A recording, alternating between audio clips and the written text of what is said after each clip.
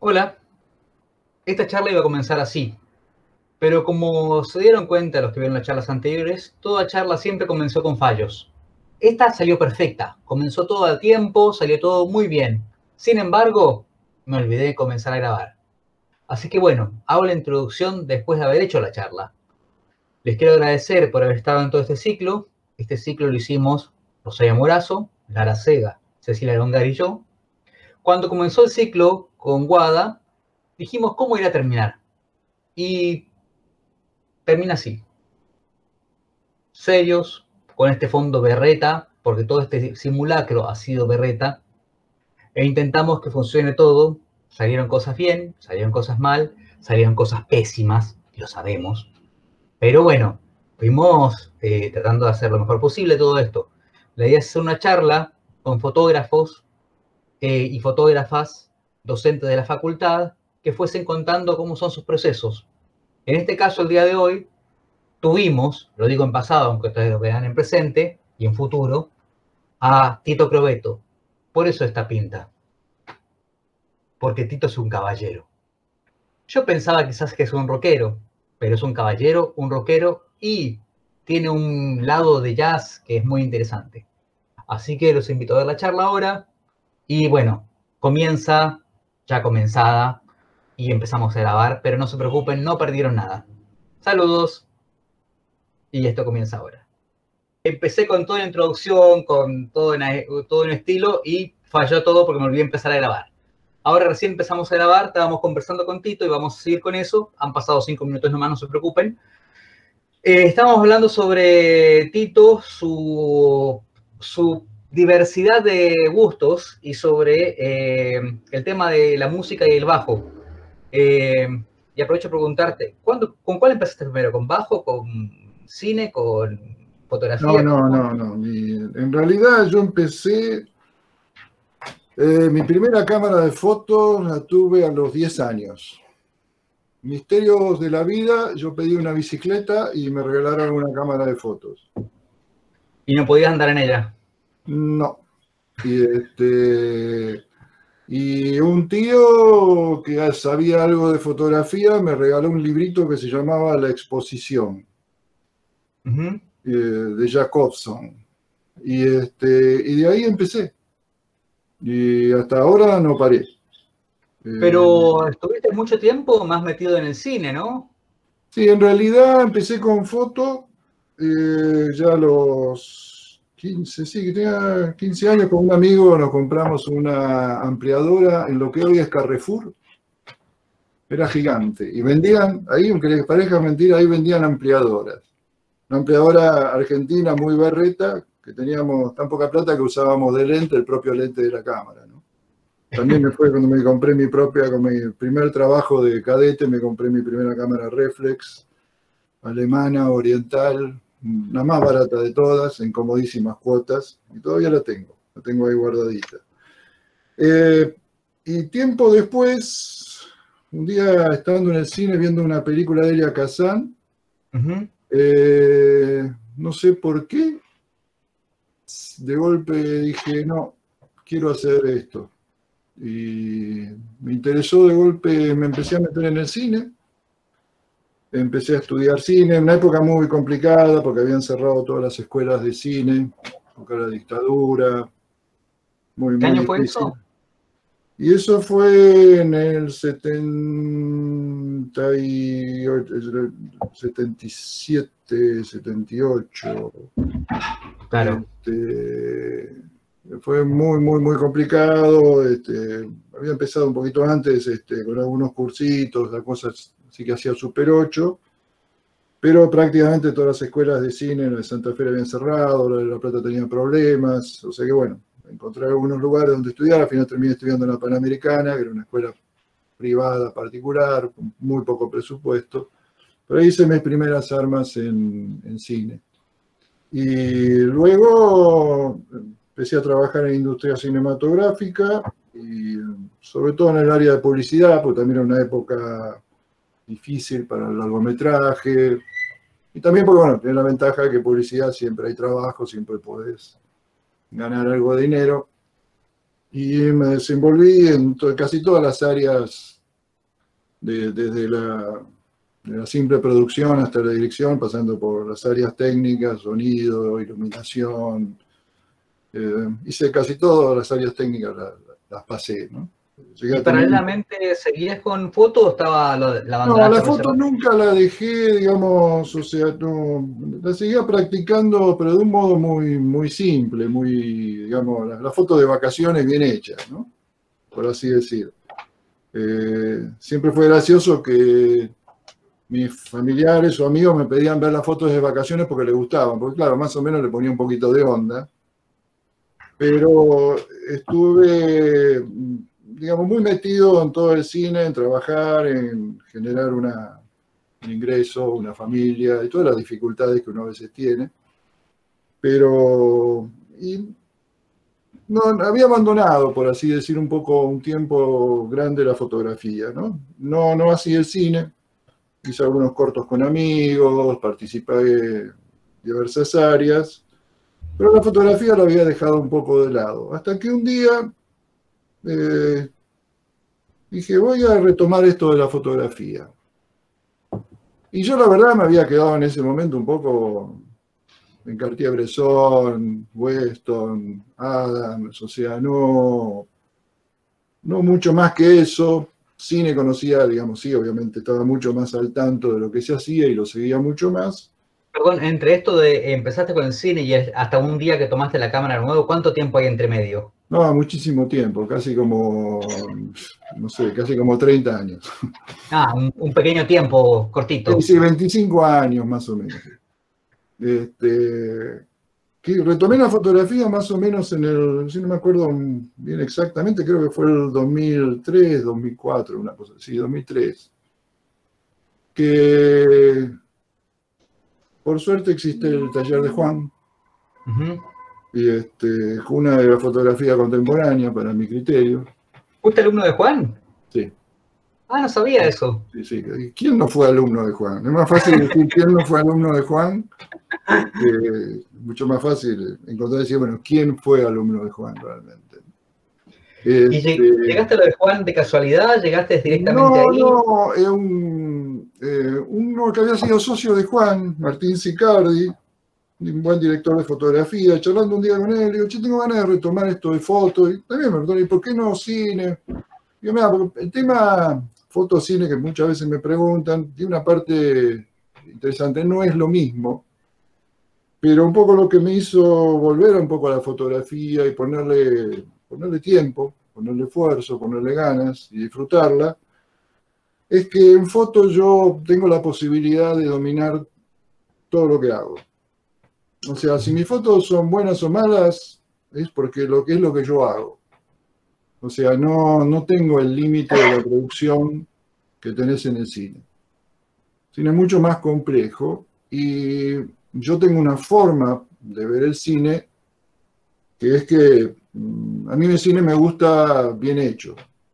O sea, bien hecho, bien producido, con todo lo que hace falta. Si querés llamarlo un defecto, no me gusta el cine pobre. O sea, hay excelentes películas hechas con muy bajo presupuesto, pero cuando hablamos de bajo presupuesto en cine estamos hablando de millones de dólares. Cualquier cifra es un disparate. Y el cine hecho, digamos, fato en casa, por así decir, hay cosas interesantes, pero no me siento identificado con eso. No, yo tengo una profunda admiración por las cosas bien hechas. No te voy a preguntar por el cine campusano entonces, por ejemplo. Yo, digamos, este, me, cuesta, te digo, o sea, es, quizás es mi amor por las cosas bien hechas. O sea, todo lo que está bien hecho, desde una ópera, un auto, eh, una buena comida, todo lo que está bien, bien hecho me, fascina realmente. O sea, y bueno, es, mi forma de, sentirlo. eso es una opinión, no quiero decir que no haya excelentes cosas hechas con bajísimos presupuestos, ¿no? O sea, pero no, no es la forma que yo me siento cómodo. No, te voy a eh, preguntar de eso justamente, porque el bien hecho, ¿qué significa? Porque, por ejemplo, qué sé yo, si hablamos de música, ya que estábamos hablando de esto de jazz y un poco de eso antes de empezar, eh, Miles Davis es un tipo que era maniático de todas las cosas de, una forma u otra, todo eso. Pero Thelonious Monk, por ejemplo, era un desastre, y sin embargo estaba bien hecho. pero armaba una... ¿Quién, perdón? Monk. Ah, claro, sí, sí, sí. Bueno, no, eh, estamos hablando en música, vos te sentás al piano y sos, son, sos vos y el piano.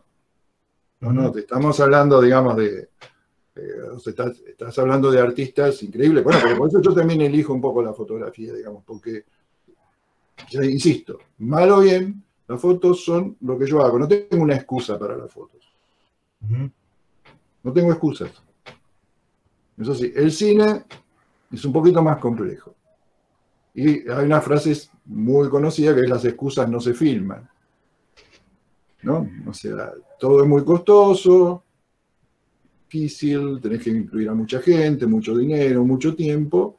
Y por eso me eh, sentí que era, me encontré que en la fotografía mi forma de expresión. Amo el cine, me encanta, lo adoro y posiblemente algún día haga algo.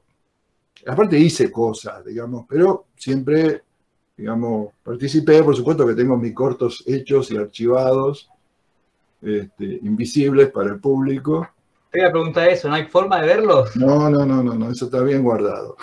No podemos hacer un ciclo después del Lonsama, aunque sea en el aula tanque, aunque sea. No, no, no. Este, están, bien guardados. Este, así que bueno. Y el, bueno, arranqué el taller con Juan y me puse a tono con todo lo que era la fotografía fue muy gracioso que un día le pregunto a Juan, y digo, mira, le llevé unas fotos, y digo, ¿qué autor te parece que, tengo que ver de acuerdo a estas fotos? Y me dice, y fíjate Eggleston. Y yo ni sabía ni quién era Eggleston en ese momento. O sea, ya Eggleston tenía sus años y todo demás. O sea, podía hablarte de cine mil horas, de los últimos autores, pero de fotografía estaba bastante alejado.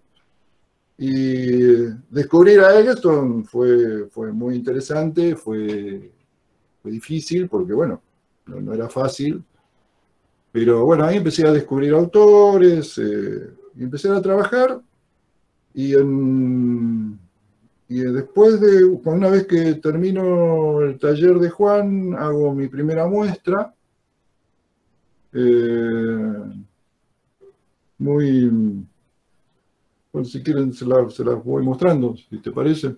Dale, eh, a mí me llama la atención que me menciones de Eggleston y la primera fue Axioma, ¿no? La primera. Sí. Que es eh, completamente blanca prácticamente, es decir. Eh, el tema, mira, ahora te cuento.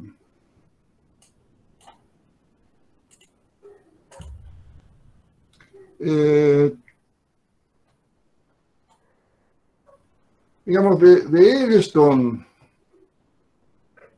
a esto, no, no, todavía no había llegado a comprenderlo profundamente. Porque una cosa es comprenderlo, entenderlo, que es un desafío, y otra cosa es poder materializar todo eso, internalizar todo eso. Este primer trabajo tiene que ver en realidad con todo lo que yo venía trayendo de la fotografía clásica, por así decir. La fotografía blanco y negro, de las formas. Y yo no, no, no, reniego todo esto, estoy muy, muy orgulloso de este trabajo, me encantó, fue mi primer trabajo en digital inclusive. Yo venía trabajando todo en análogo y bueno, empecé a descubrir el digital y para mí fue otra cosa que también me dio muchísimas ganas de, hacer fotografía, porque empecé a descubrir todo lo que podía hacer, todo lo que podía controlar, eh, me incentivó mucho. Y, es un trabajo de formas, obviamente, que en, algunos lados muy, muy, muy lejanos, o sea, ni, punto de comparación, eh, lo ligo con algunas cosas de Sugimoto, también, o sea, del cual yo me sentía mucho más cercano. Mi lucha constante siempre fue entre Eggleston y Sugimoto, por así decirlo.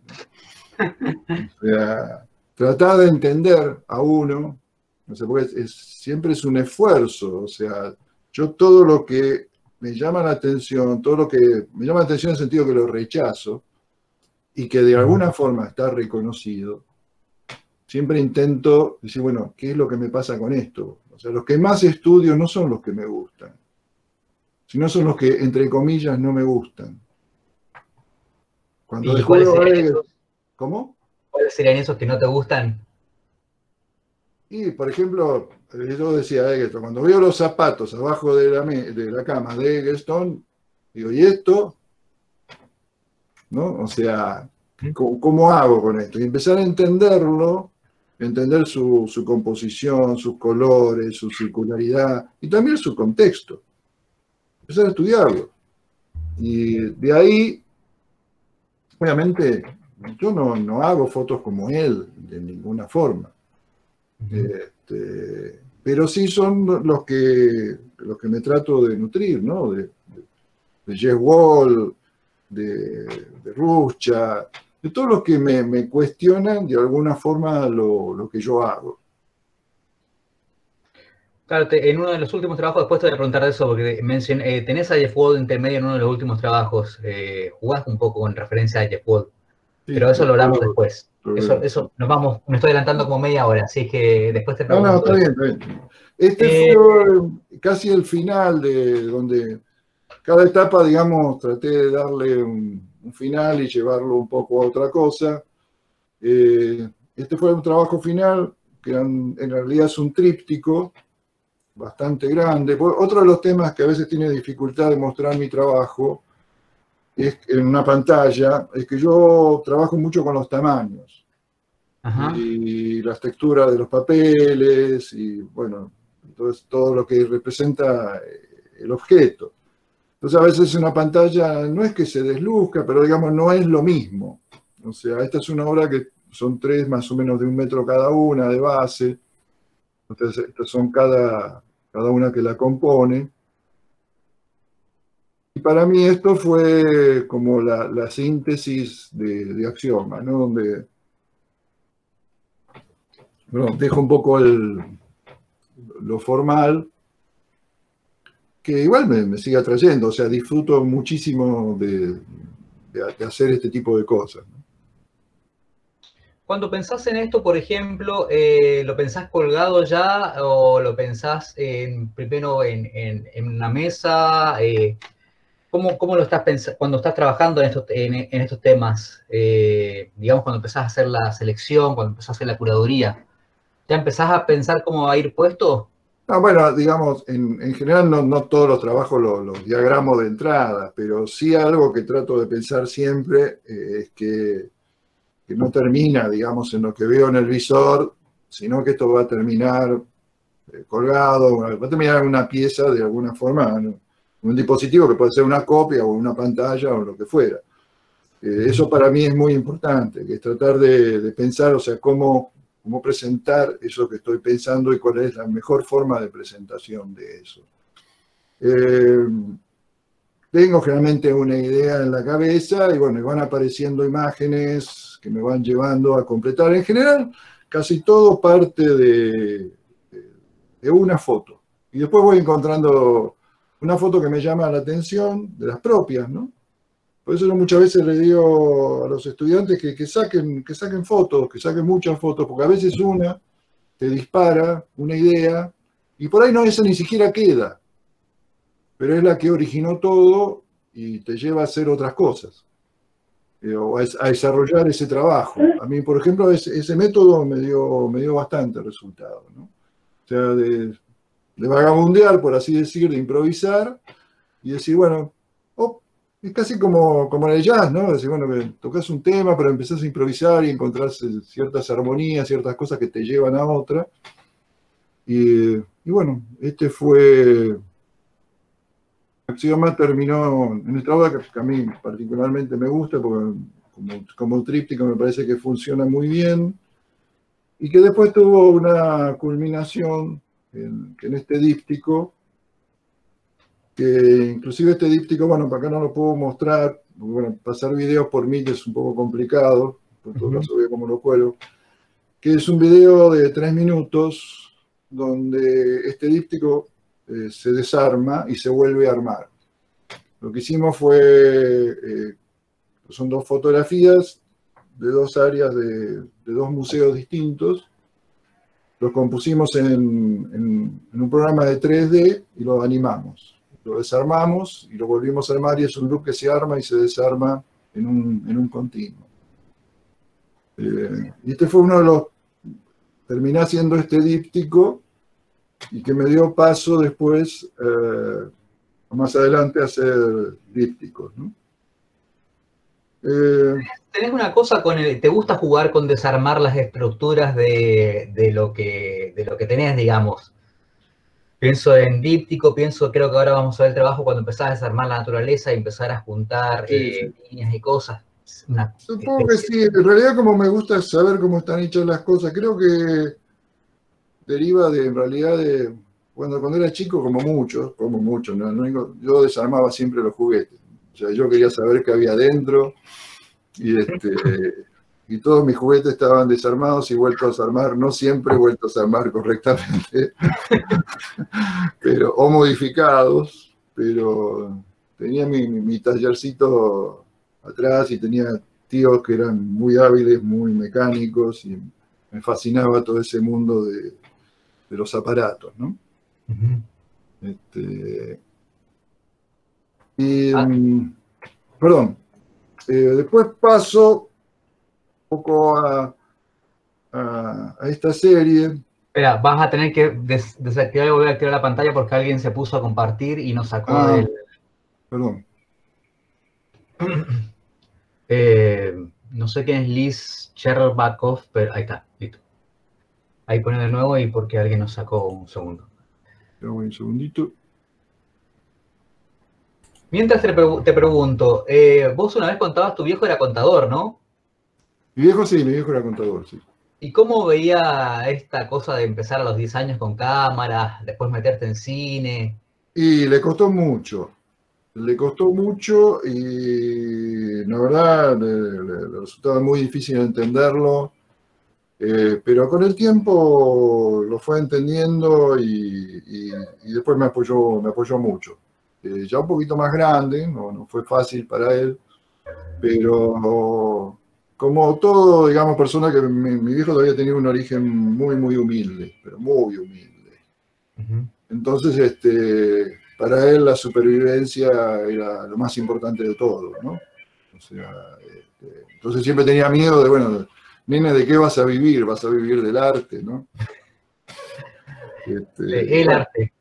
Claro este, de, qué trabajás, ¿no? No sé cómo decir, bueno, sos artista, ¿de qué trabajás? Este, bueno, como, por eso te decía, también el cine, eh, sobre todo el cine comercial, la publicidad, todo eso, bueno, es un trabajo como muchos otros, y bueno, donde puedes vivir, ¿no? Sin, sin mayor problema. Este, Alguien te preguntaba ahí, pero él te regaló la cámara, ¿no? La primera sí, pero era una cámara de esas clic-clac, ¿no? muy, muy, muy, muy elemental, un rollito de 120, o sea, que tenía dos diafragmas y, dos velocidades de obturación, nada más. Este, sí, después, después realmente, o sea, él sin darse cuenta me, me fue metiendo, me metió el bichito, ¿no?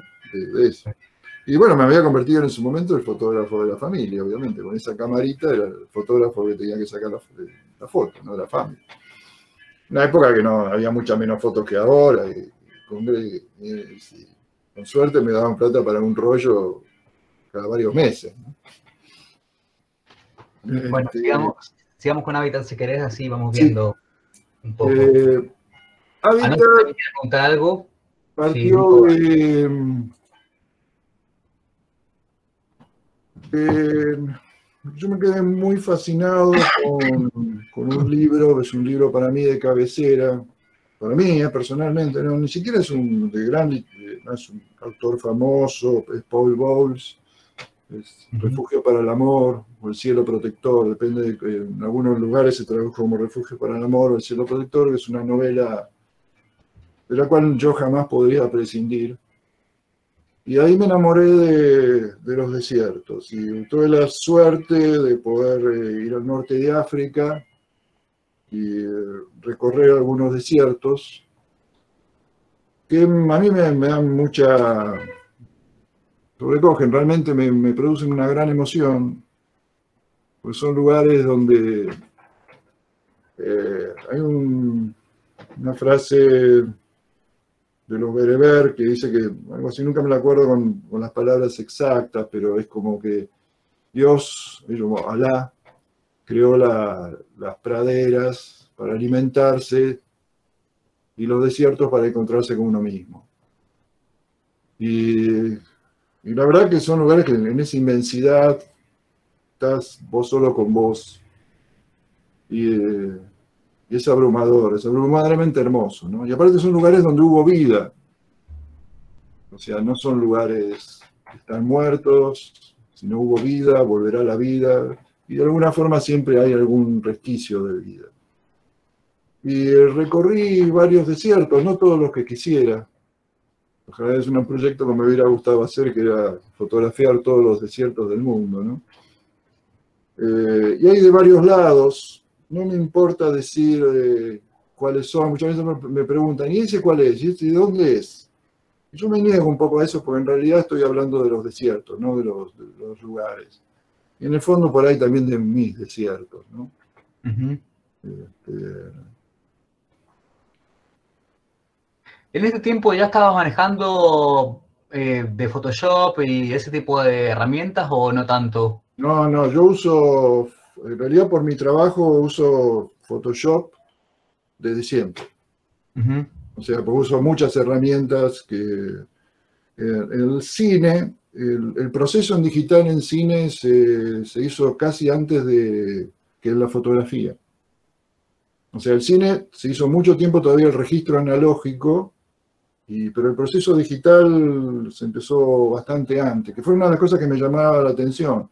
Todas las cosas que yo podía hacer en video, por así decir, con la imagen de video, con la imagen de fílmico pasada a video, y que me costaba mucho hacer en el laboratorio, en el laboratorio analógico. O sea, uso, uso el Photoshop casi desde el Photoshop 1. No sé de cuánto. ¿Nunca te gustó mucho el laboratorio? ¿Cómo?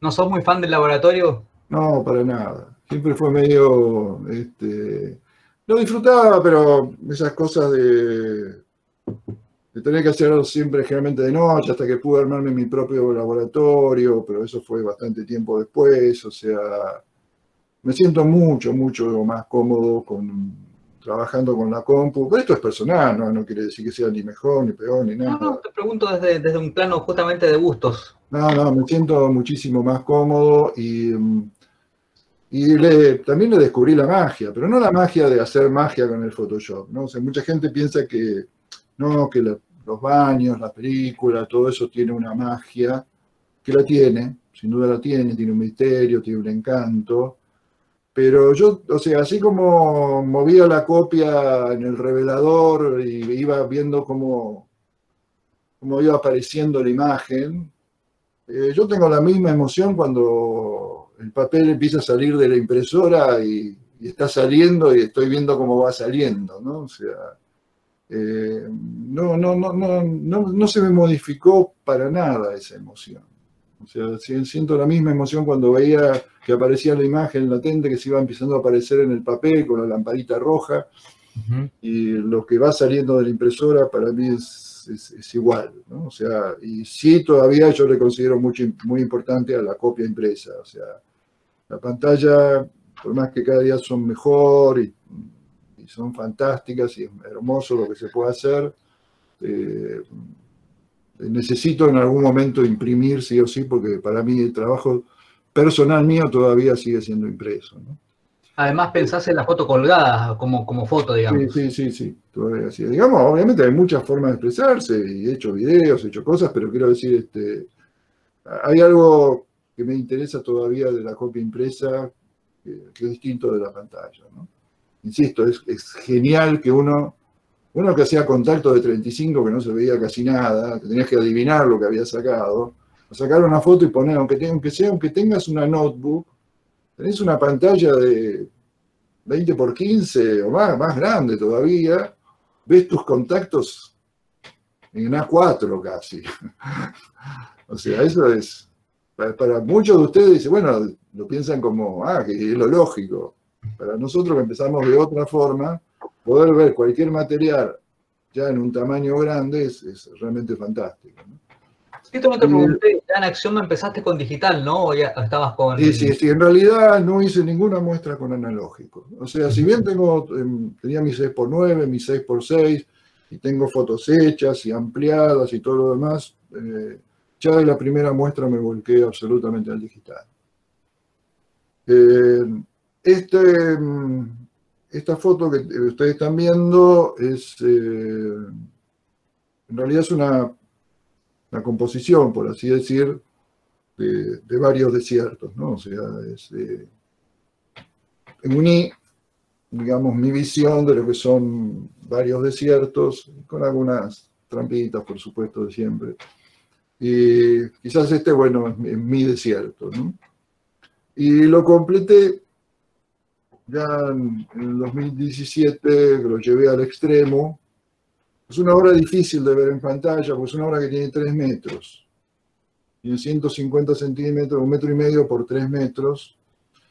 Y está hecho de forma tal que cada, son miles de líneas y las líneas están como entrelazadas y corresponden a fotos distintas.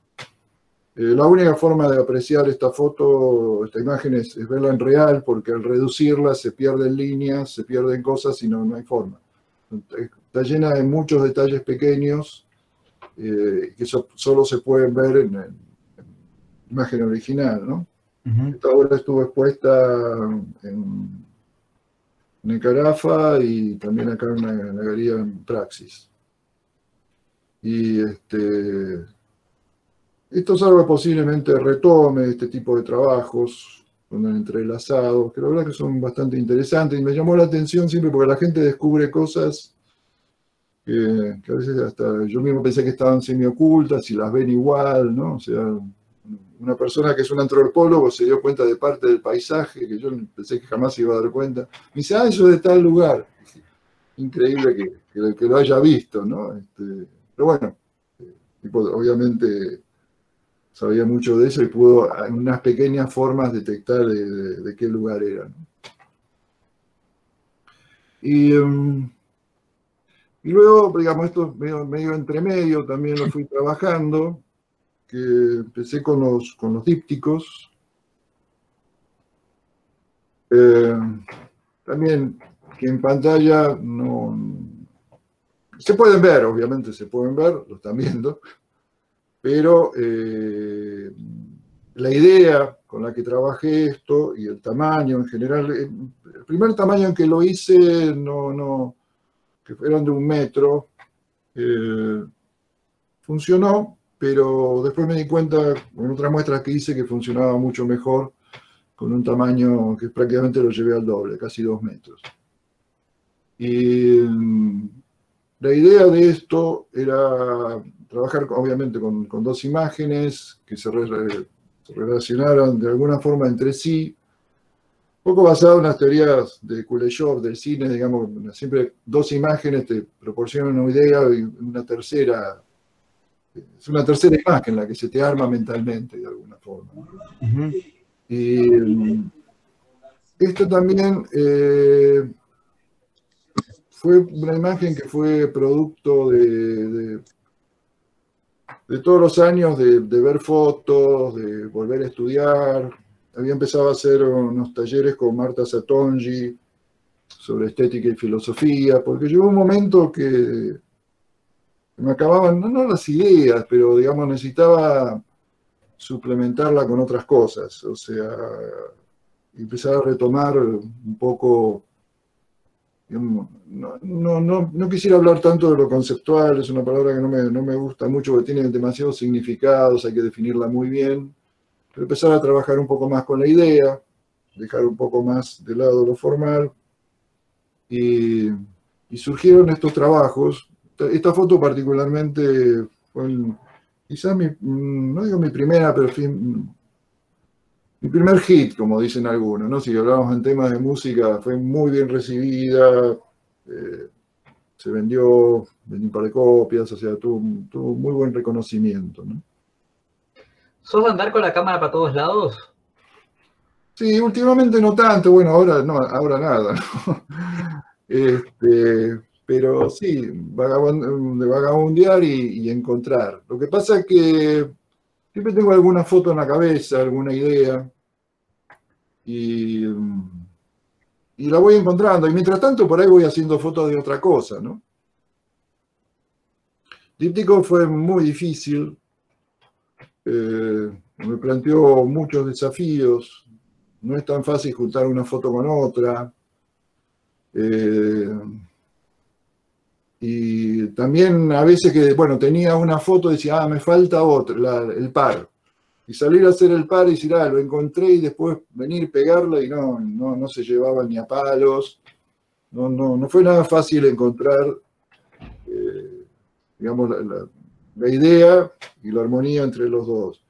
El formato, que es este formato largo, digamos, un Super Panavision, eh, lo pensé y de alguna forma funcionó con la idea de que el, digamos, el ancho, la base, que es grande, te lleva a alejarte. Pero como es relativamente eh, poco alta, digamos, es, finita, por así decir, te lleva a acercarte. O sea, digamos, es, un tipo de imagen que te, jugás con que el espectador se acerque y se aleje, ¿no? Eh, por el ancho y por el alto, y aparte porque como son dos imágenes. ¿Eso también ya lo tenías pensado, cómo, cómo colgarlo, como digamos, como plantearlo en una... Sí, sí, lo único que acá, por ejemplo, aprendí el tamaño, ¿no? O sea, la primera muestra que hice tenían todas un metro. Y cuando lo vi colgado dije, bueno, quedó bien, pero después me di cuenta con otras muestras que hice que funcionaba mucho mejor con tamaño mucho más grande. No siempre más grande es mejor, ¿eh? obviamente, lo que quiero decir es que funcionaba de otra forma, o sea, tenía otro despliegue, o sea, mm, es, es difícil cuantificar por qué, pero realmente se lucían te llevaba a otra relación con el espectador. Esa idea de acercarte, alejarte, funcionaba mucho mejor con el tamaño de dos metros que con el tamaño de un metro. Eh, otra cosa que sí, a veces sé que eh, me preguntan, bueno, pero ¿por qué esta foto con la otra? Apelo a, que el espectador lo piense, generar algo una idea en el propio espectador, que no necesariamente es la mía. Lo que sí yo para hacer las fotos necesito una justificación. O sea, para unir estas fotos yo necesito una justificación, que no es directamente transmisible para el observador. No es necesariamente que el observador lo va a captar exactamente por qué yo la uní pero yo no la puedo unir si no, no tengo una justificación más allá de, los tonos o de la composición de, un concepto. Y cada foto lo tiene. O sea, para mí lo, tiene que tener, si no, siento que no funciona. Eh, siempre hay una idea, más allá de, del color o de las formas, ¿Cómo pensás también, por ejemplo, el marco y el vidrio y esa parte, digamos, en cuanto al reflejo de la imagen? Y bueno, mira, sea, el vidrio siempre es un problema. Eh, estas fotos en general no tienen mayor problema con el vidrio porque no son demasiado oscuras, eh, no, sufren demasiado, ¿no? Eh, entonces, bueno, hay imágenes que, bueno, que sí van con vidrio y otras que en la medida de lo posible trato de, no usarlo. Y también, eh, digo, por tu manía, eh, ¿cómo, decirlo?, fáustica de abarcar muchas cosas, cuando pensás en la, en la obra puesta, digamos, en la, sala donde esté, ¿pensás también en la, iluminación? ¿Pensás también en el espacio? No, mira, e, ese es un punto capital. O sea, el tema de la iluminación es importantísimo. Lamentablemente, lamentablemente, yo he hecho muestras mal iluminadas. No, no mal iluminadas en el sentido que se veía mal, pero no iluminadas como realmente yo lo hubiera soñado. Porque no, no hay los equipamientos, no hay las condiciones necesarias. Eh, yo tuve la oportunidad de ver muestras, algunas muestras afuera y realmente la iluminación la podés, en algunos casos, no todos, obviamente, manejar muy bien y es, y es importantísimo. Porque aparte de una, de una cosa muy, muy simple, o sea, la densidad de una copia no es la misma independientemente de la luz con que va a ser iluminada. O sea, una copia no se ve igual con mucha luz que con poca luz que con mediana luz. O sea, son tres copias distintas. Ni te hablo de cosas que me han pasado, de que, bueno, que muestras por ahí colectivas, de que te ponen una lámpara que te ilumina, por ahí una foto que es un poco grande, que te ilumina un pedazo de la foto nada más. un, viñeteado a la izquierda hace, qué sé yo, ¿viste? Una cosa que es absurda, ¿viste? Eh, bueno, esas cosas, cerrar los ojos y decir, bueno, que sea lo que Dios quiera, yo hice todo lo que pude, lo mejor que pude la copia, bueno, no se pudo, mala suerte.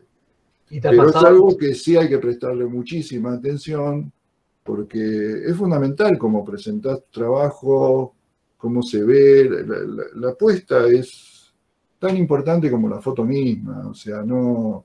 Lamentablemente muchas veces no tenemos las condiciones de hacerlo, pero no hay que dejar de pensar en eso y, soñar y luchar porque tu muestra sea exactamente como vos querés.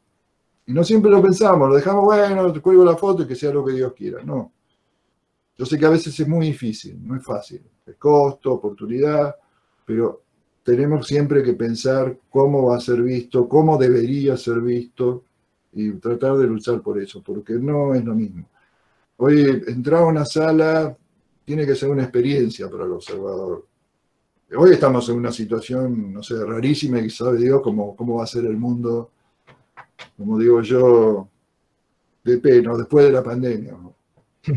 Este, pero eh, no, es cuestión de poner un clavito, colgar la derecha y, nada más. O sea, es mucho más que eso. ¿Te ha pasado? un, espectáculo, pero. ¿Cómo? ¿Te ha pasado de pensar una obra, por ejemplo, que estás mostrando ahora todo con fondo gris, por ejemplo? Que tener una obra pensada con un fondo blanco y llegás al lugar y tiene un fondo rojo. Y sí, sí, sí, me ha pasado, me ha pasado esas cosas, sí, no, no, no tanto como un fondo rojo, pero sí, mala iluminación, ese tipo de cosas, sí, sin duda. ¿Y qué haces? ¿Te resignás y ya o...? Y pataleas, y depende de la situación y las posibilidades que tengan, ¿no? O sea, eh, son, creo que son dos cosas importantes. Lo primero, saber cómo se debe hacer, o cómo querés hacerlo. Pensar en eso. ¿Cómo debiera ser esto que quiero hacer? ¿Cómo debiera ser presentado? ¿Cómo me gustaría? Y luchar por eso. Y después verás. Es la vida misma, o sea, ¿no? O sea, hay fotos que yo quisiera sacarla con una cámara de 150 megapíxeles y con el lente súper, y bueno, no lo tengo y trato de emularlo. Y hay otro que quisiera que por ahí, qué sé yo, no sé.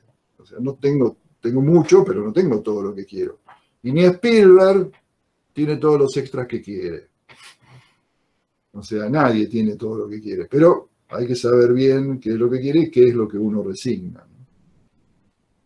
Acá entramos al... Acá entramos a crudo, quizás obviamente lo más conocido, que me dio muchas satisfacciones.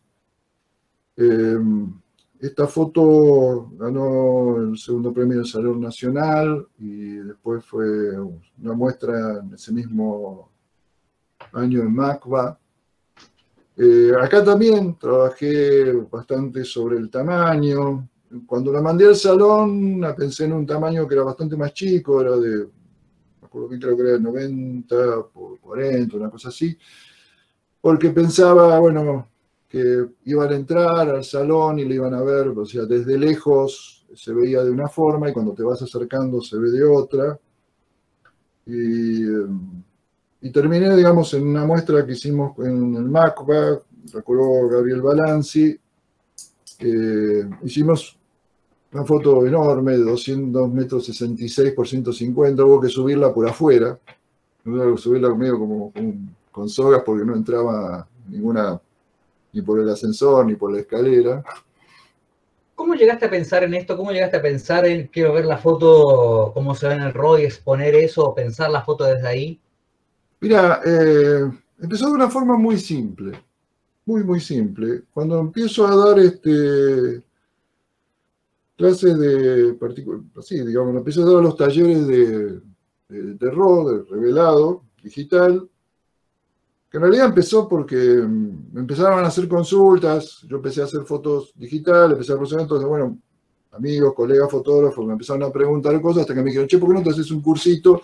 Así vamos y aprendemos.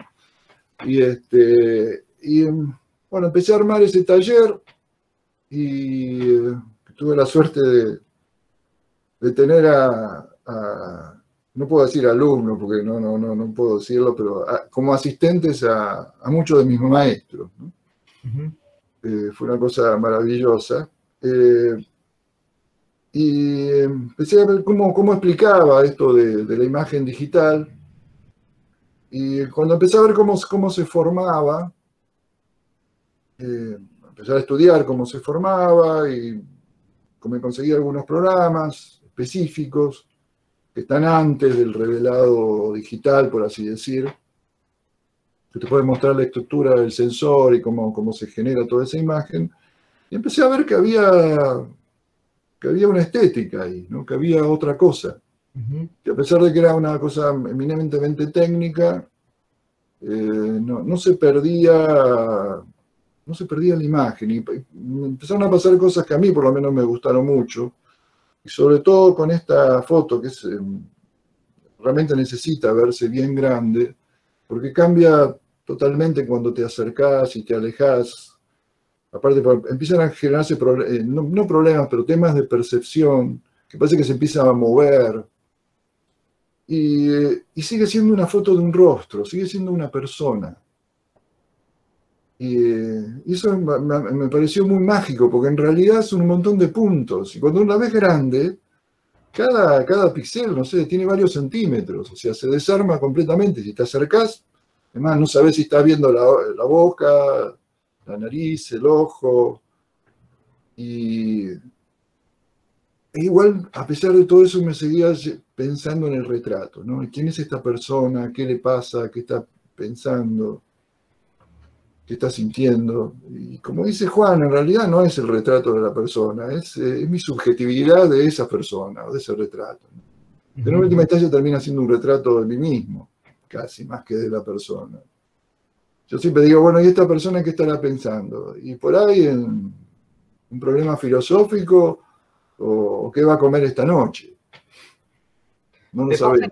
¿Qué pasa encontrarte a vos de cuando, por ejemplo, estás en una, muestra ya expuesta, colgada, de repente a la vez entera y entendés algo que no habías entendido sobre... No, por supuesto, por supuesto. O sea, hasta que, porque en realidad se puede decir que el trabajo de la obra es, es cuando terminó esto fueron tres fotos, nada más, bien grandes, tres fotos, que partieron de estas tres, ahora vuelvo en todo caso, algo, mal metido, o sea, esa era la sala, eran tres fotos grandes, habíamos ido revestido las, las ventanas con, con una imagen de, plena de, de la estructura de RAW, y nada más que estas tres fotos. Y ahí adquirió realmente otro significado, ¿no? Y habíamos puesto estas tres fotos que son los originales, de donde salieron las, fotos. Cada retrato salió de una de estas fotos.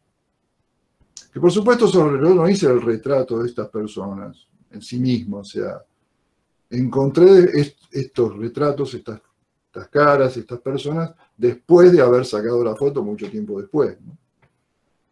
Y el único, también muchos me preguntan, ¿y esto tiene Photoshop? Y no. Esto es mucho antes que el Photoshop, esto es el no Photoshop, por así decir.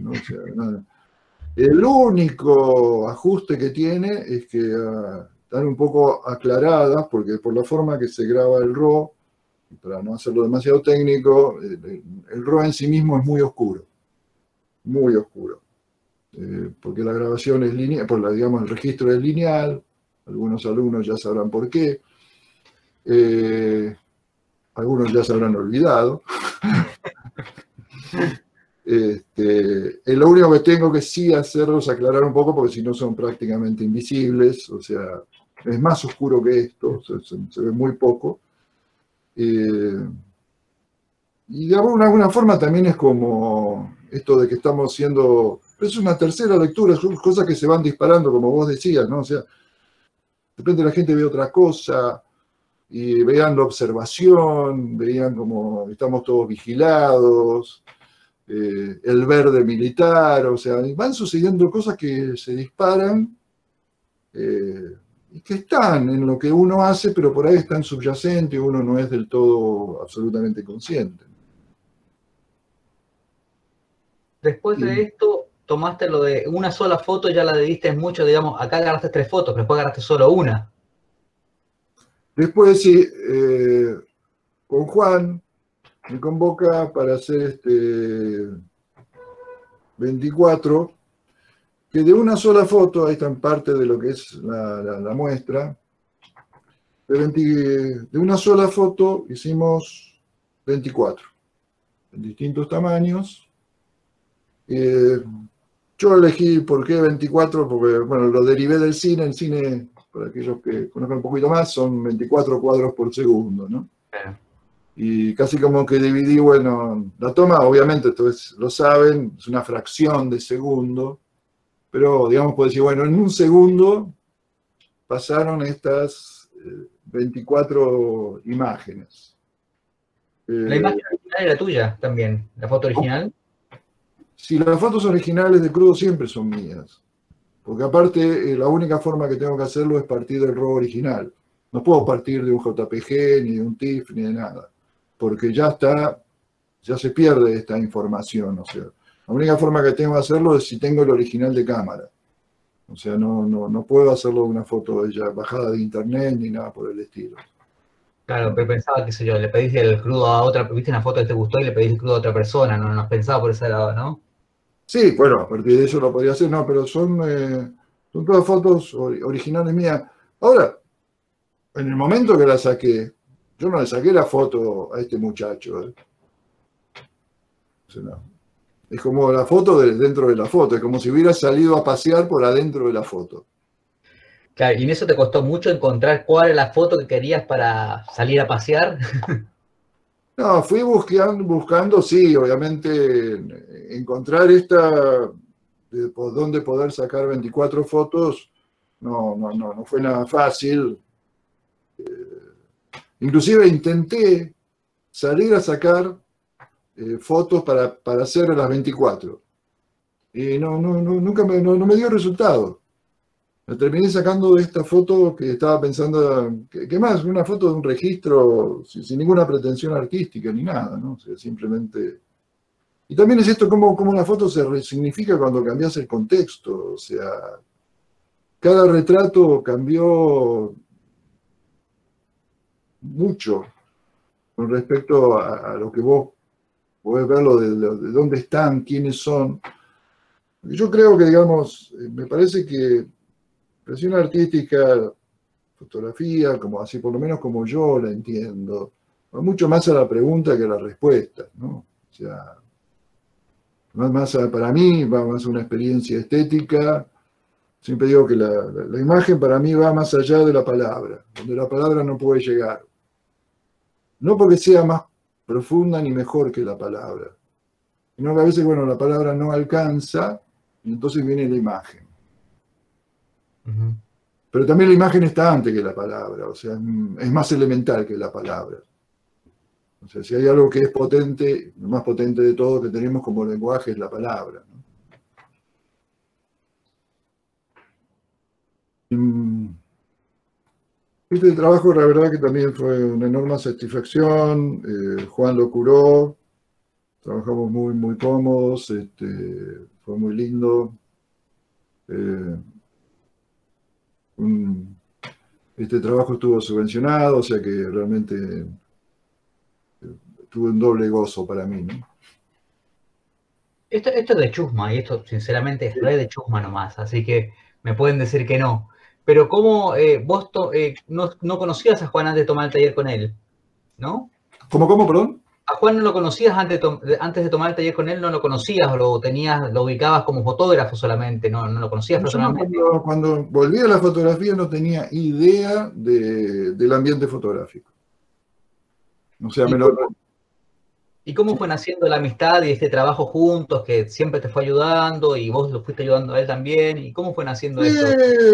Empezó en el taller, no, tampoco es que, digamos, de, entrada con Juan eh, tuvimos un contacto permanente, fuimos, venimos, o sea, nos fuimos conectando. Tenemos una relación muy llana, muy, muy cariñosa y de muchísimo respeto.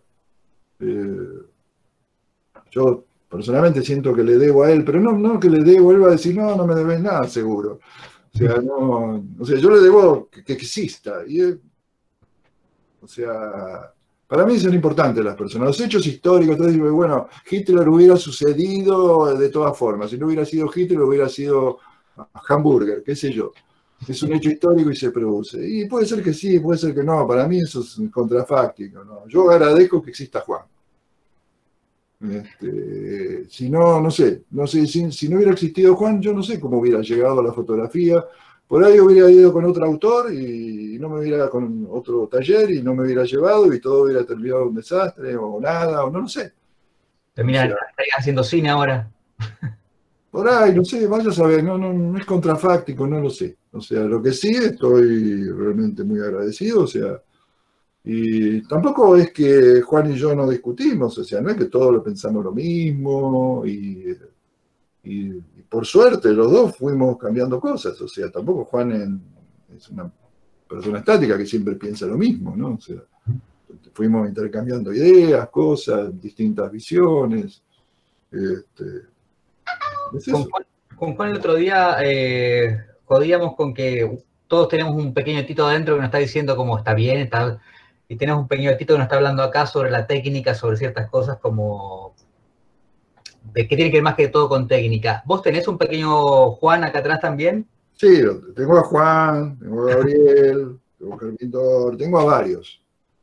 Pero obviamente Juan es principal, o sea, seguro, seguro siempre le muestro todo lo que hago.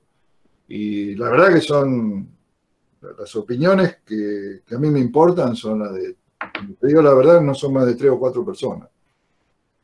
O sea, y creo que en realidad en el fondo a cualquiera que haga cosas pasa siempre lo mismo. Las, las opiniones que te importan no son las de las miles de personas.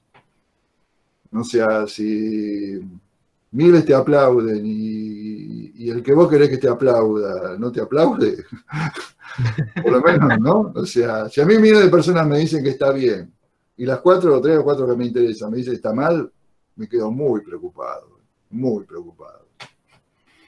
O sea, no, no, no, no, no, digamos, no es que no crean en, la opinión de miles de personas, que no, no, no lo sé.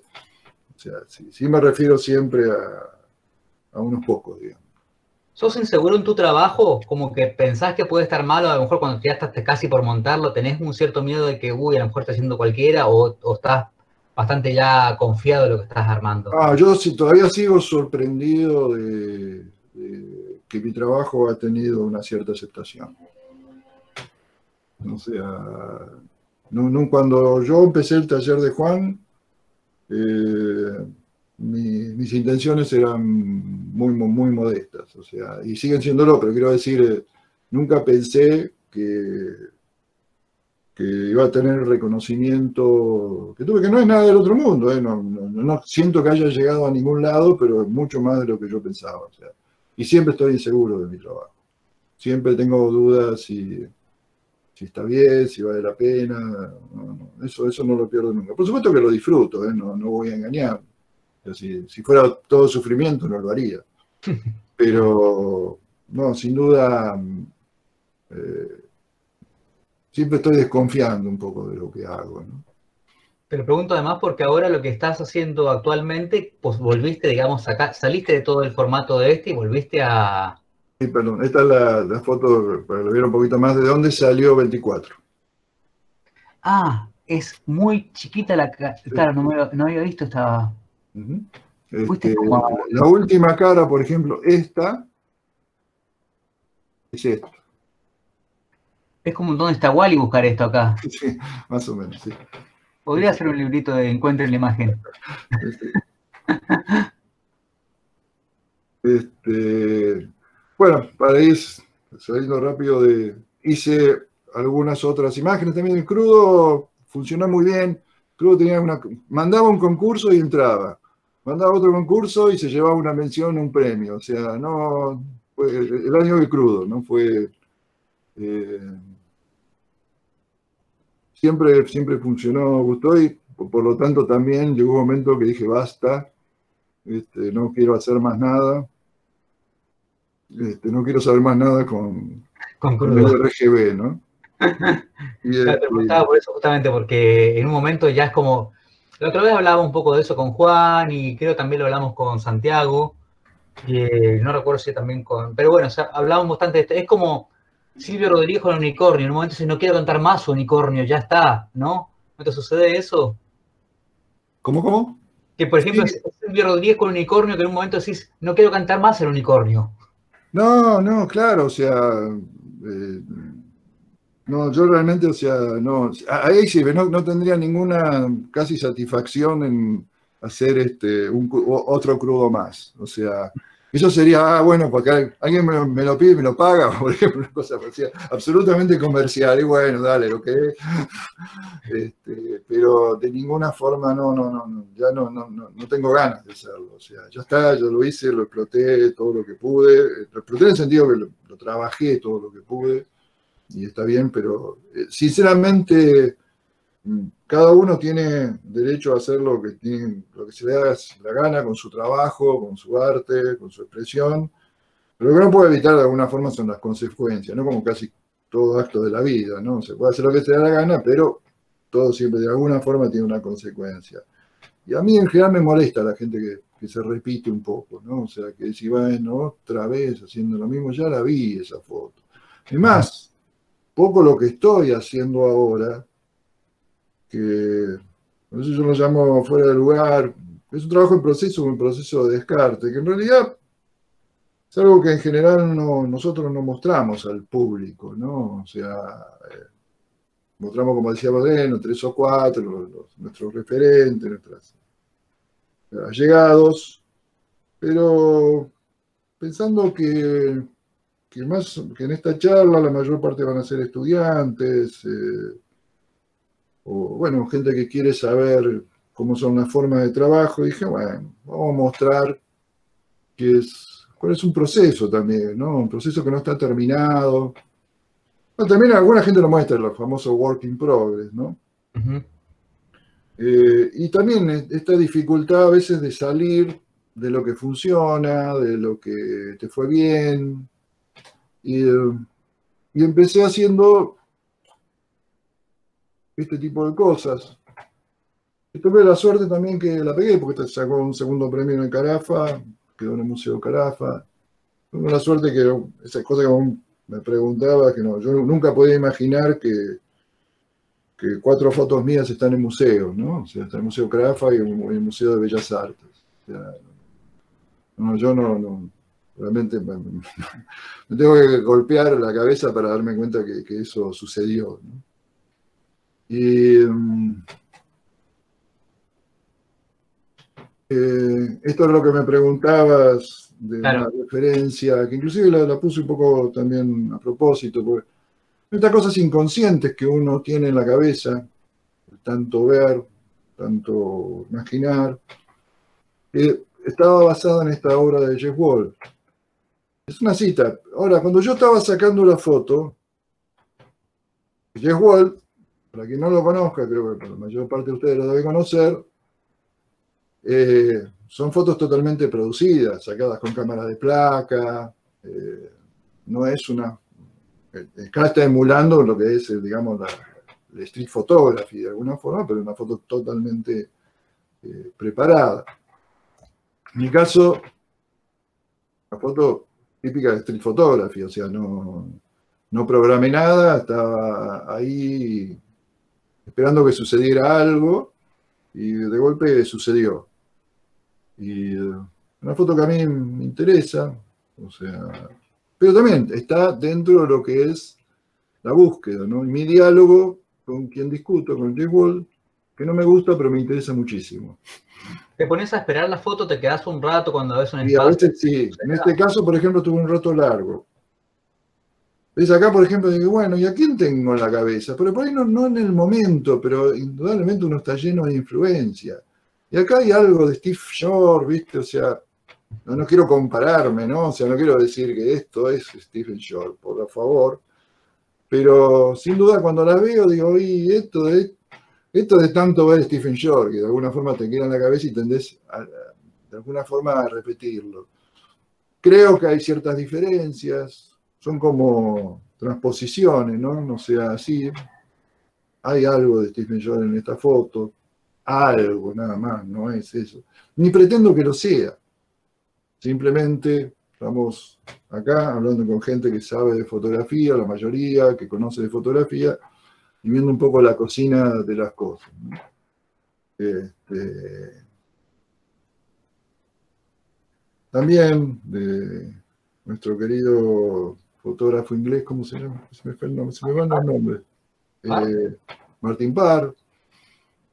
Pero lo descubro después, ¿no? O sea, cuando empecé a juntar estas fotos dije, ah, que estas son las memorias, por así decir, ¿no? Las memorias que uno tiene inconsciente. Pero eh, te lo voy a preguntar porque eh, ya creo que es, claro que lo has mencionado, pero eh, hacerlo explícito. ¿Qué tanta importancia le das al tener un bagaje cultural de conocer fotógrafos? Por ejemplo, también vos hablas mucho desde el cine, de conocer trabajos fotográficos del cine, de trabajo de dirección de fotografía. Sí. Mira, creo que hay dos cosas. Yo quiero entender dónde va la pregunta. Creo que, digamos, el quehacer artístico, fotografía, todo, vos lo podés hacer, me parece, me atrevo a opinar, de, dos lados. Uno de un lado muy, muy visceral. Puedo decir, Antoine de Ágata. Es una cosa, una fotografía visceral, absolutamente, ¿viste? O sea, hay muchos otros ejemplos, bueno, no me vienen ahora en la cabeza, seguramente por ahí pueden hacer acordar de algunos, que son fotógrafos viscerales. Eh, la última etapa, sobre todo, de Robert Frank, ¿no? O sea, quien eh, se va a la, la, foto que más me gusta a mí, es eh, la foto de, Flamingo, de Robert Frank la foto que yo quisiera hacer, por todo lo que transmite, no es una foto que técnicamente no, es nada superlativa, ni nada, pero es una foto que yo amo profundamente. Y, después están todos aquellos que digamos que se nutren de, ideas, de filósofos, de la política, de la historia del arte. Eh, y yo trato de andar por los dos caminos. O sea, ojalá eh, si vos me dijeras si, pudiera haber un chip que me mete los cinco años de historia o seis de historia del arte en la cabeza, cinco o seis años de la licenciatura en filosofía, que, si hubiera chico nos podía poner, o sea, me diera el tiempo y sí, lo haría todo eso. Y creo que podría llegar a ser un poco mejor fotógrafo si supiera más cosas todavía. O sea, creo que todo eso te nutre. Yo, por lo menos como cosa personal, sentí en un momento que necesitaba abrevar en lecturas, en muchas otras cosas, porque se me acababan, o sea, me volvía a repetir, hacía la foto linda, por así decir, ¿no? O sea, no podía superar a, a Weston, Cartier-Bresson, Ansel Adams y todo eso, me quedaba anclado ahí. O sea, tuve que empezar a ver de otra forma. Cuando pensás en, abordar el trabajo, por ejemplo, Agustina decía que ella no podía evitar que es eh, que tiene el estudio social de por medio. Eh, vos tenés algo que de hecho es eh, muy cinemático, decirlo de alguna manera. ¿Lo, ¿Sos consciente de ese, de ese lugar? O... Sí, porque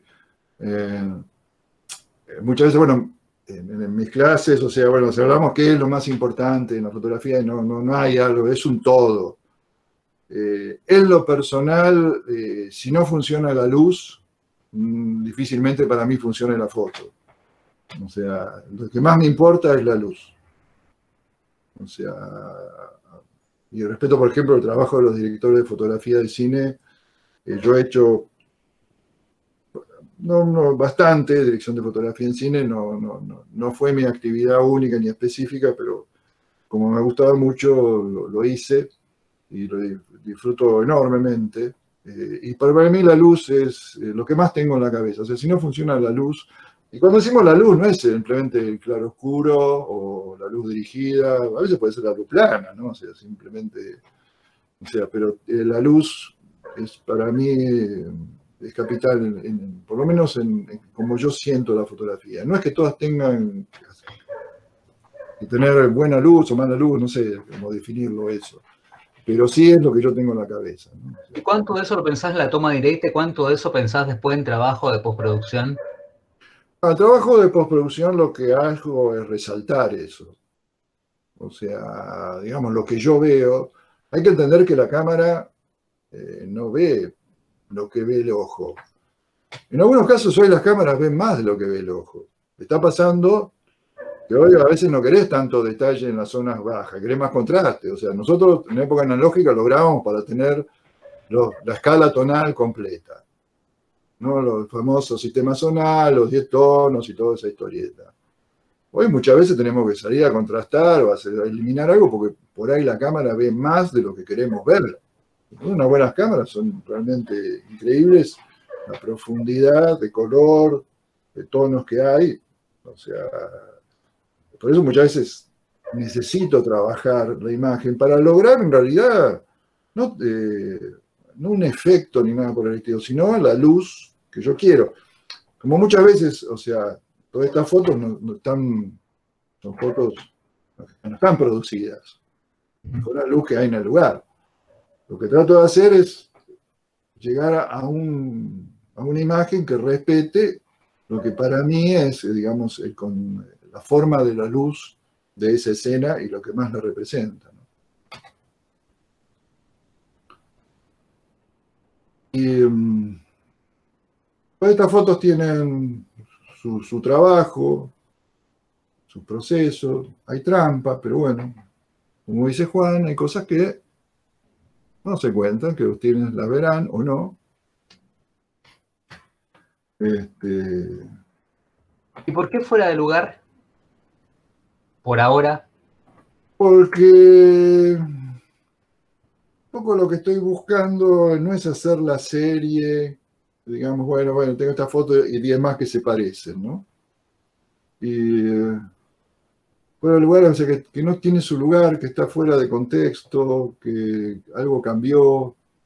Es un nombre todavía muy, muy primigenio, no sé si va a quedar o no, no sé cuáles de estas fotos van a quedar, y no sé si algo de todo esto va a quedar, ni siquiera. Está muy crudo. Oh, oh, oh. Este, yo creo que sí, pero digamos, todavía de alguna forma búsquedas experimentales. Eh,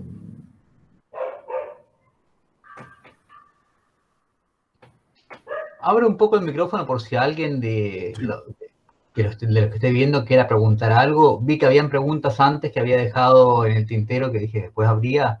Si alguien quiere decir algo, lo diga. Sé que Nicolás había preguntado algo, por ejemplo, estoy viendo acá. Renata Finelli también. Eh, si alguien quiere decir algo, que aproveche meter palabra ahora, pero igual seguimos viendo y seguimos hablando, pero creo que fue un momento para que hable la gente que quiera. Tengo un perro ladrando atrás y voy a poner el micrófono yo. Por más que sea 11, por más que haya eh, cuarentena, la gente sale hay mucha gente en la calle últimamente, no sé por qué, pero bueno, ladran perros y esas cosas. Hola. Hola, contanos. Ah, ¿qué tal? Este, tenía una pregunta, ¿qué tal? Quería saber si trabajas con imágenes que son tomadas o también con producciones digitales.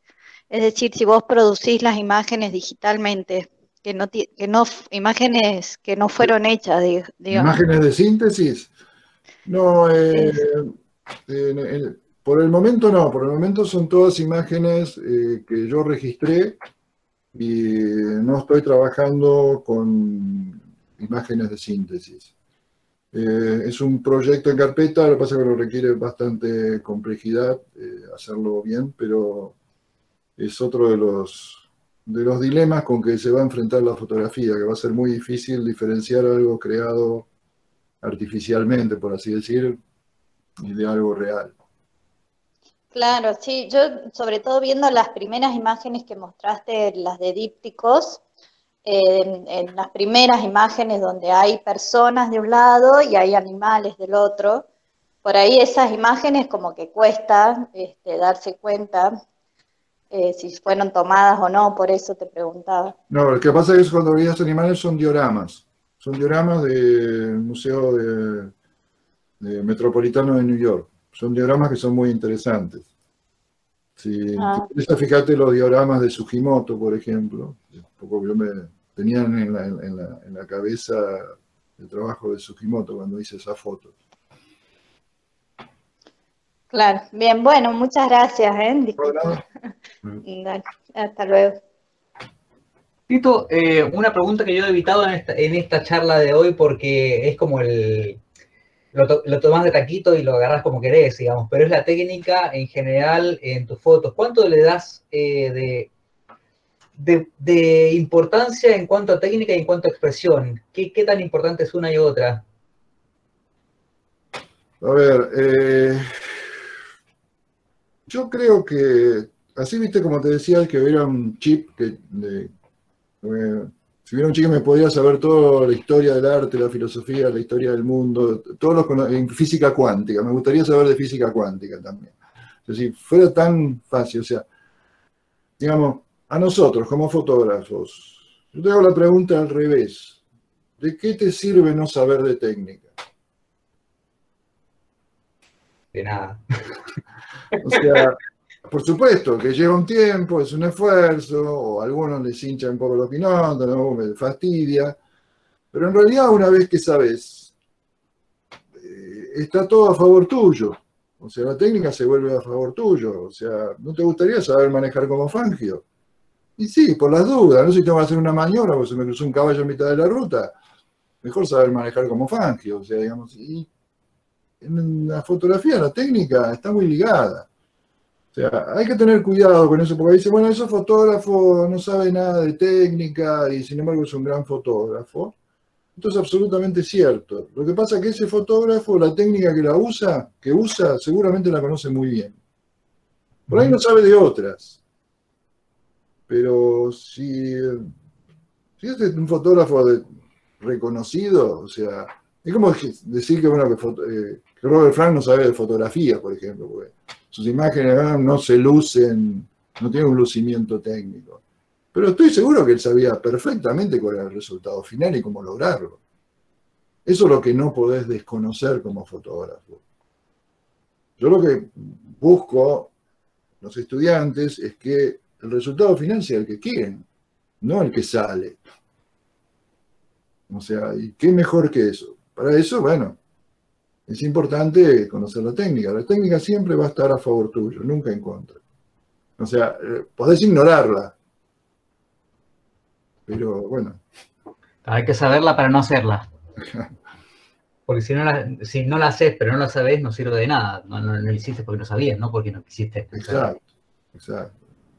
Eh, sí, claro, me hace acordar un poco, de hecho, eh, para montar ciertas obras, por ejemplo, que una desarma completamente, en el postmodernismo suele pasar estas cosas, desarmar todo, ¿viste? Eh, pero hay que saber todo lo referente para poder decir, no los voy a tomar ninguno, voy a hacer lo que se me cante el alma, por no decir otros espacios. Bueno, y acá ya llegamos al final. Eh, esta imagen está quedó ahí suspendida en el tiempo en, en el Fondo Nacional de las Artes, porque bueno, no, no se pudo, no se pudieron devolver las obras. Y esto fue lo último que, que expuse, lo último que presenté. ¿Cómo? ¿Está en cuarentena esta hora? Sí, quedó en cuarentena. Este, Acá voy a, voy a cometer una, una pregunta que es de, de cómo el truco de magia. Estas fotos tenía más luz y era de día, ¿no? ¿Hiciste, ¿Hiciste ese trabajo que nos mostraste alguna vez de empezar a oscurecerla de noche? Eh, ¿Vos dirías que, es, es de día o que es de noche? Yo creo que la foto la tomaste de día y la pasaste la noche. o de día de, ese medio anocheciendo. Es en realidad a veces todas las cosas, o sea, en la imagen se ve un poquito más, eh, más clara que la copia, la, copia es un poquito más oscura. Eh, alguien decía la sombra en la, luna, sobre todo si uno deja la cámara con bastante exposición, el pastorino inclusive tiene unas fotos hechas de noche, digamos, con larguísimos tiempos de exposición, y empiezan a, ser raras porque están iluminadas, por así decir, por, las propias luces de la ciudad o de ambientes o de la propia luna, que empiezan a transformarse. O sea, la luz del sol y la luz de la luna tienen la misma dirección. O sea, no, cambian mucho. Y el tipo de sombra que producen va a tener mucho que ver con el cielo. Y si es un cielo y, estás a cierta altura, el cielo es muy oscuro y que refleja muy poca luz, vas a tener prácticamente el mismo grado de contraste que tendrías con, si está iluminado solamente por la luna. Lo que pasa es que obviamente requiere tiempos muy largos de exposición. Sí, está un poquito, claro, ahora estoy viendo que está un poquito movido de hecho el personaje, así que hay tiempo largo.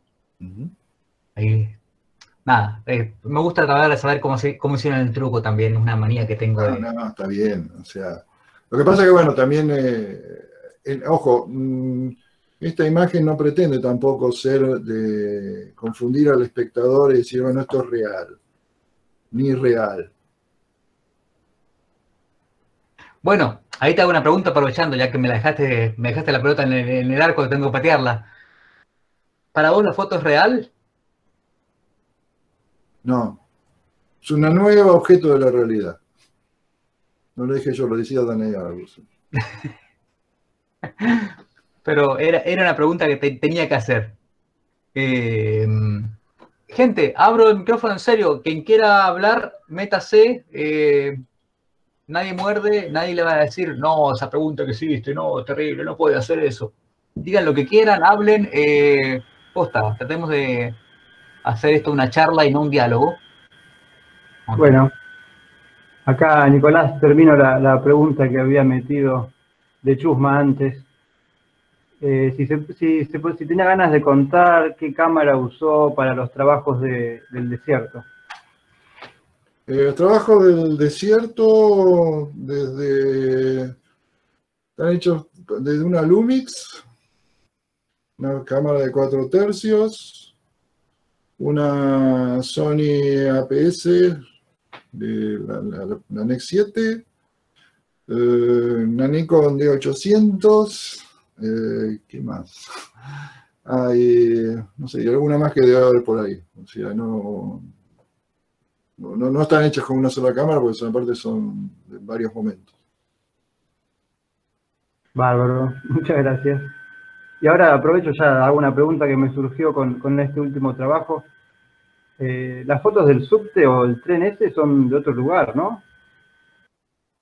¿De qué otro lugar? De otro país, digo, del, exterior. No, no pude reconocer los asientos. Sí, sí, sí, es otro lugar.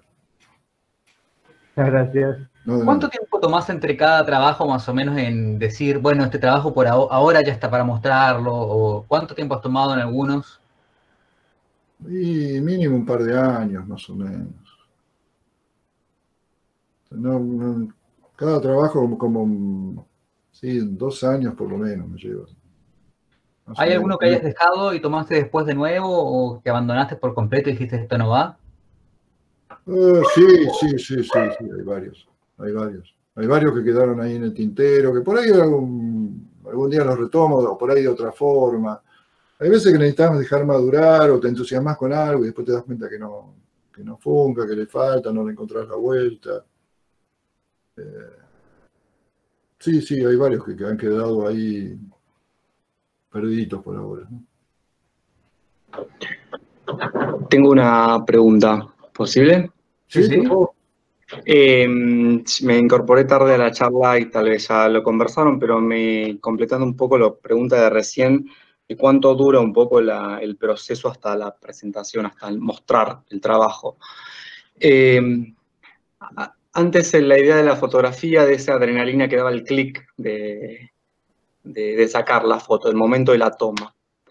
¿Sentís, Néstor, que la tenés en el momento de la toma o en el momento en ese revelado del RAW, de, ese trabajo más fino, pensando más en tal vez en este trabajo que hiciste de, ir hacia los orígenes del, revelado digital?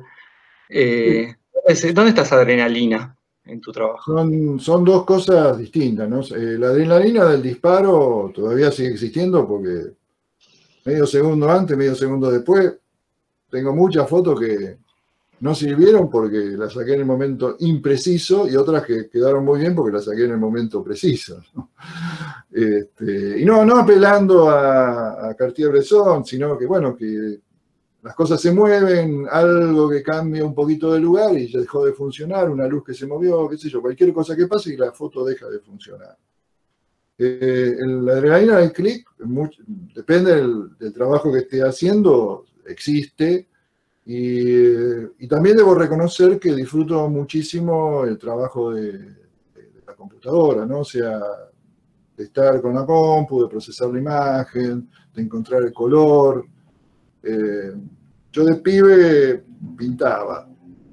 Y, este, y recuperé un poco eso, ¿no? O sea, tengo mi, mi Wacom, mi tableta, eh, disfruto realmente eh, poder trabajar la imagen, encontrar el color, encontrar los tonos. Eso también me produce adrenalina, ¿no? Ir y venir, volver.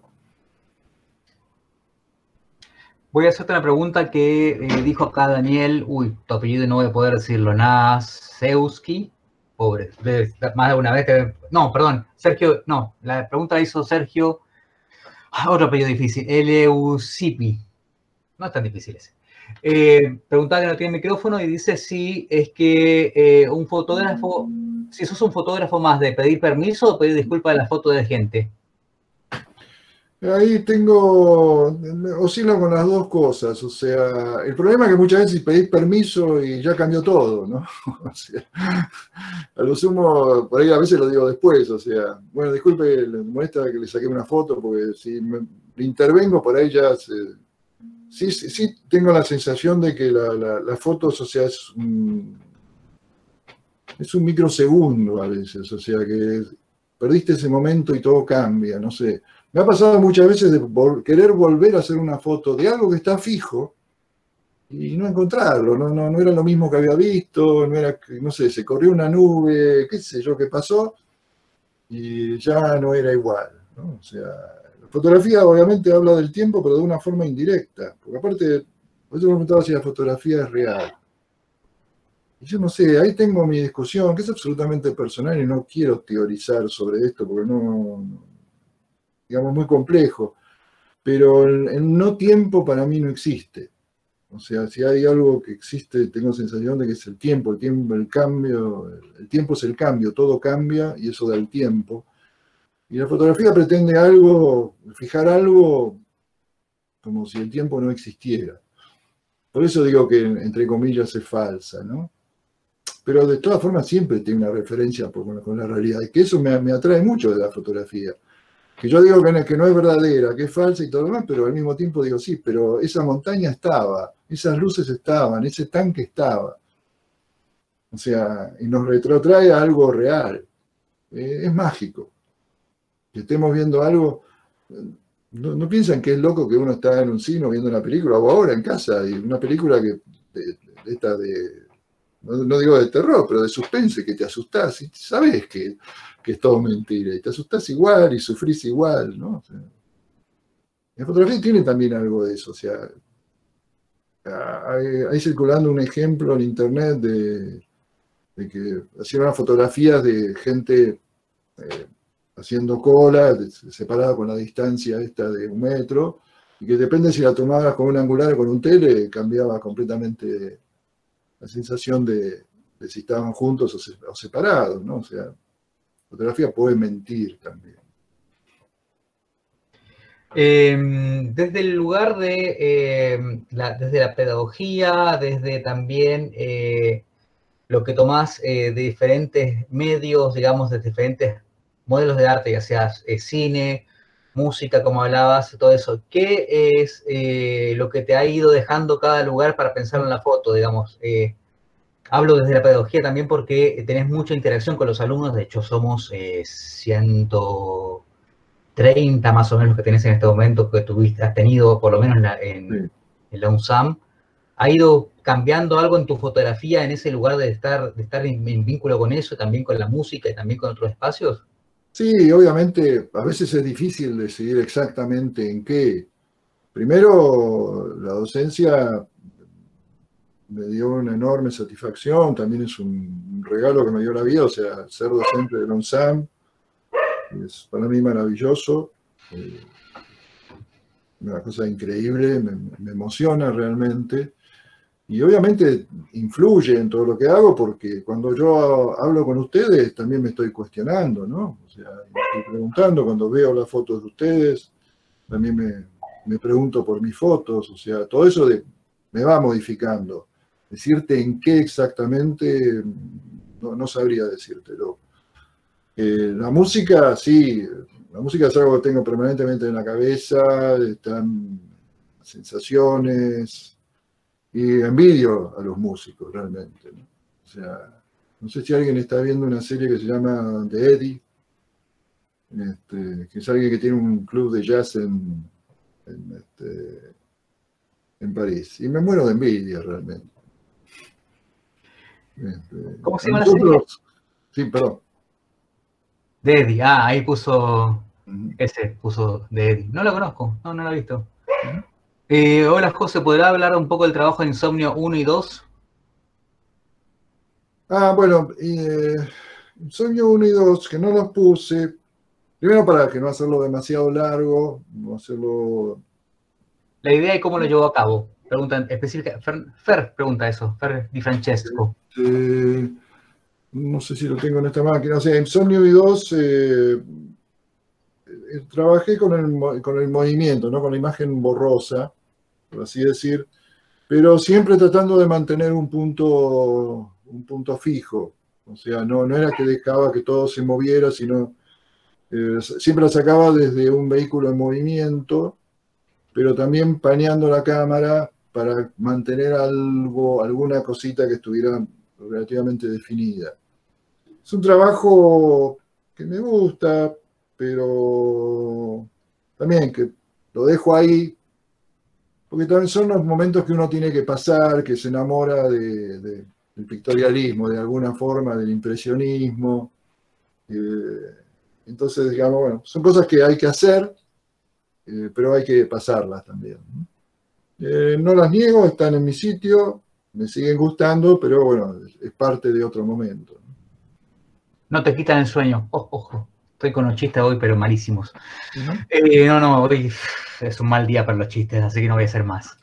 Dice, gracias, Fer. Eh, a todo esto, Fer, mañana en la mañana a las 11 va a estar una charla también en algún lugar de internet. Puede pasar el bolo si quiere por ahí, escribirlo abajo y lo decimos. Eh, las fotos de Fer son de, de, los compañeros que tengo que me gustan muchísimo, los que tienen. Gran estudiante. No sé si tan estudiante, pero bueno. No, pero, eh, aprovecho que no tiene micrófono, así no me puede bardear de vuelta.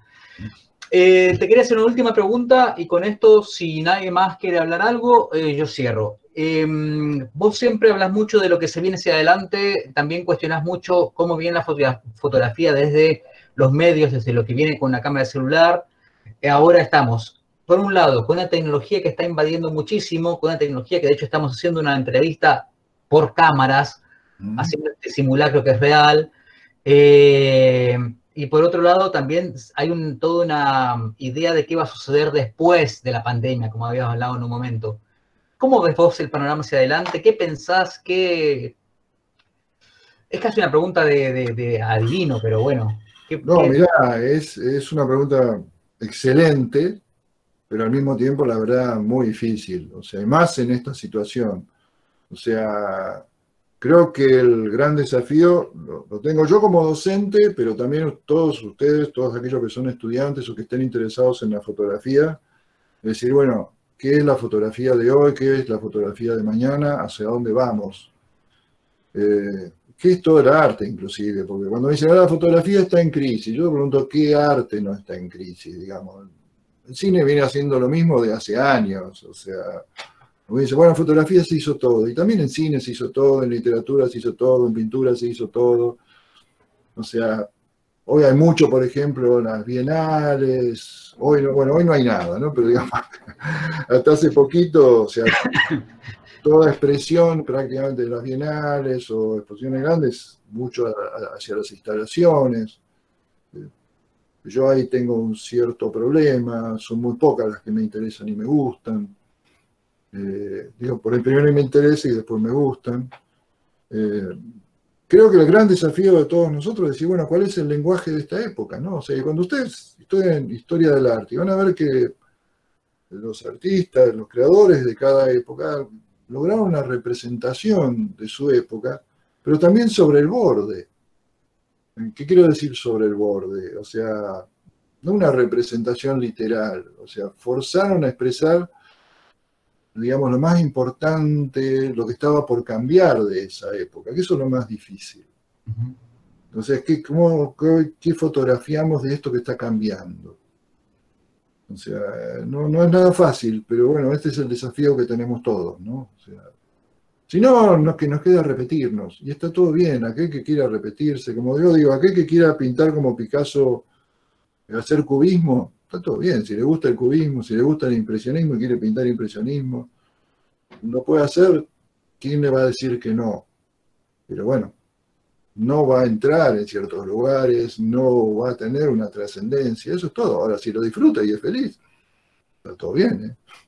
O sea, yo eh, con la música no pretendo llegar absolutamente a ningún lado. Mi enorme satisfacción es poder sacarle algunas notas al bajo. Eso es todo. No pretendo ni cambiar ni la historia de la música, ni la música. Es más, eh, hasta ahora no me ha escuchado nada más que mi profesor. Nadie más. No, podría haber un concierto entonces tuyo. No, no, no, y no tengo ningún interés más que, digamos, amigarme con mi bajo y encontrar los sonidos y entender un poco más la música. Por ahí el día de mañana si llego a tocar un poco el pelito mejor, por ahí toco un poco de cumbia, algo simple, y salgo por los barrios.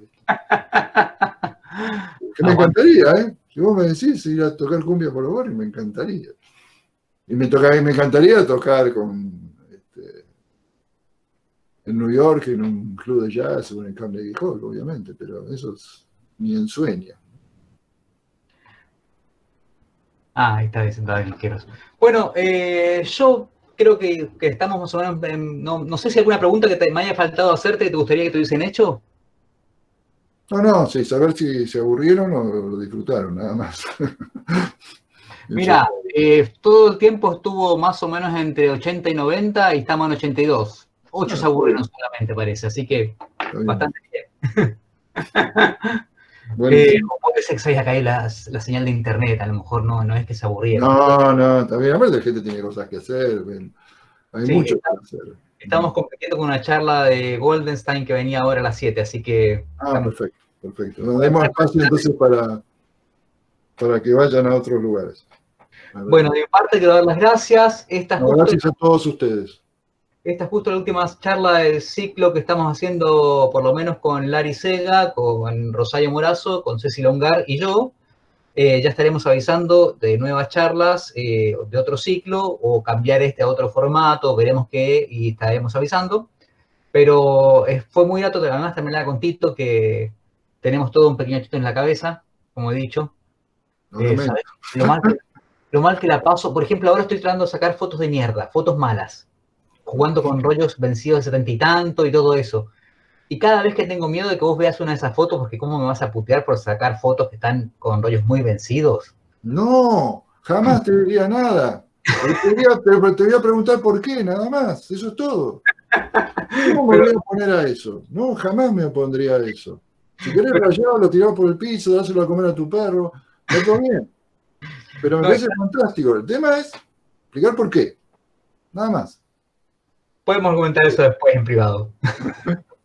bueno, muchas gracias a todos eh, y hasta acá llegamos. Última oportunidad, ¿alguna pregunta? ¿Nadie?